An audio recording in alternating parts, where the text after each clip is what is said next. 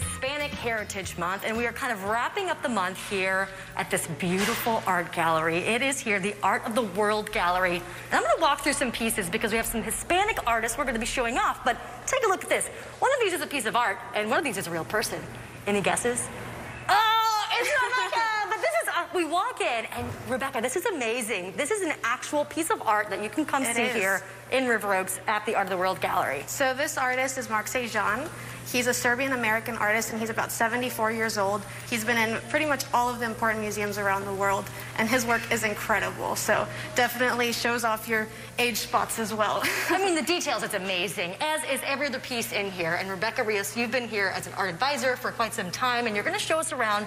Today, we are featuring Lita Cabellut. I worked on practicing her name. Yes. So we can learn about some of her notorious pieces. Can you tell everybody what she's most famous for? So Lita Cabellut is a Spanish contemporary artist. She's known for the effects of the craquelure. So you'll be able to see all of her sort of stretching and manipulation of the canvas. Basically, to dumb it down, she destroys these pictures and then rebuilds them in a way she wants people to see them, right? So the title of this exhibition, The Colors That Remain, is extremely important because every single layer of paint left on there has a meaning and it's there for a reason. a different representation. And you know, when I walked in, I said, does Lita have a specific first piece or her most notorious piece? And she doesn't. It's definitely about the way she does things. So Correct. we wanted to walk over here and just show off the different colors and the different things on this painting. It's So, just and with this one, you'll see it's a little different. It won't have as much of the deconstruction to it, which she's known for.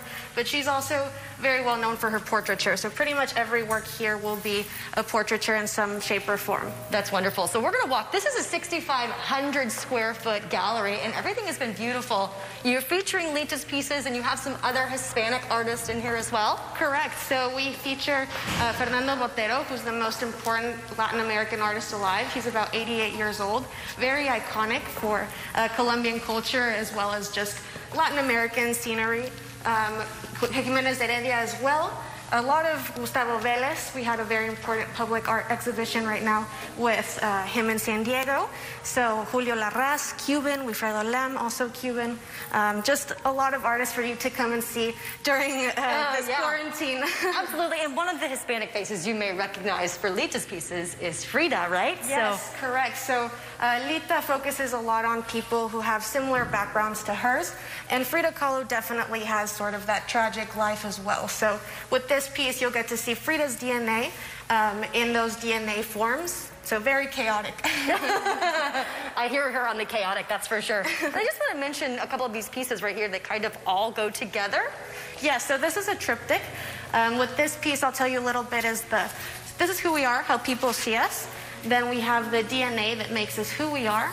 And eventually the evolutions and the transitions that we go throughout in our lives.